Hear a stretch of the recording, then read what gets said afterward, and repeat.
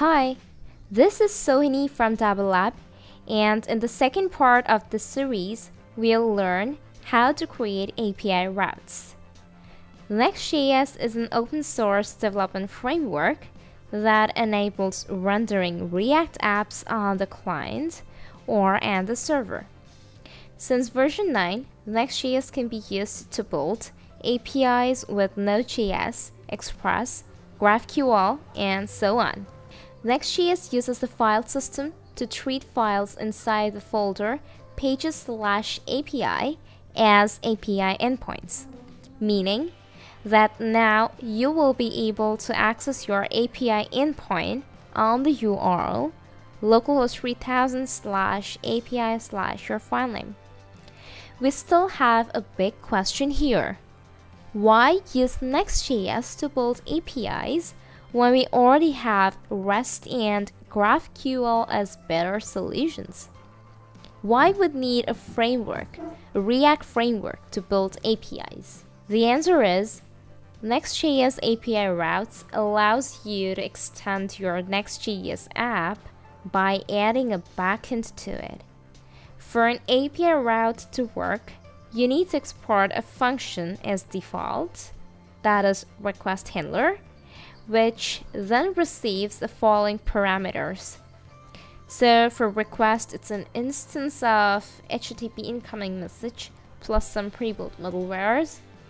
And response, that is RES, is an instance of HTTP server response plus some helper functions. For new projects, we can build our entire API with API routes. If we have an existing API, we do not need to forward calls to the API through an API route. So now let's build two API routes. For now, we'll just display a very basic text in both the routes, but over the tutorials, we'll be using index.js of REST-fetch and GraphFetch folders to fetch repositories from our GitHub topic, that is Alexa skill template, using REST API and GraphQL.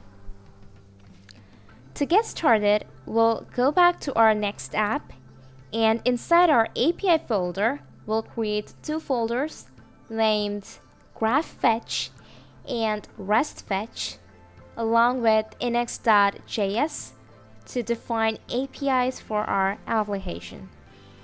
Here, our benefits are we do not need to write any additional custom server code and configure any API routes. Inside index.js, we'll need to create and export a function and we'll keep it default.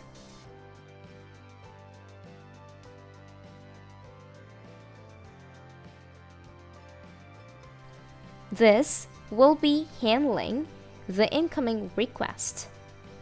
REQ stands for request and RES stands for response.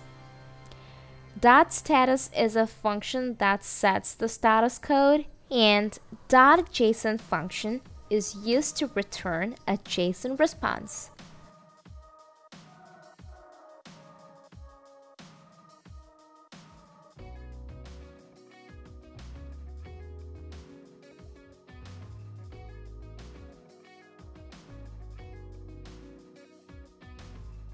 That's all. Our API route is set up. Now we run yarn dev as we go to localhost 3000 and navigate to this endpoint API slash graph fetch. We can see a response.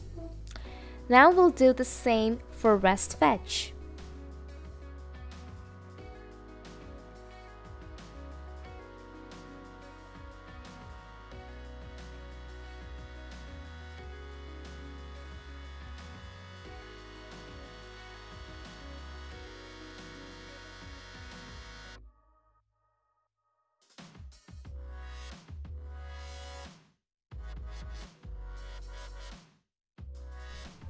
Here, you can see the demo now. That's all for this video. In our next video, we'll be creating a REST API that pulls all the data from the GitHub topic Alexa skill template. Thanks for watching.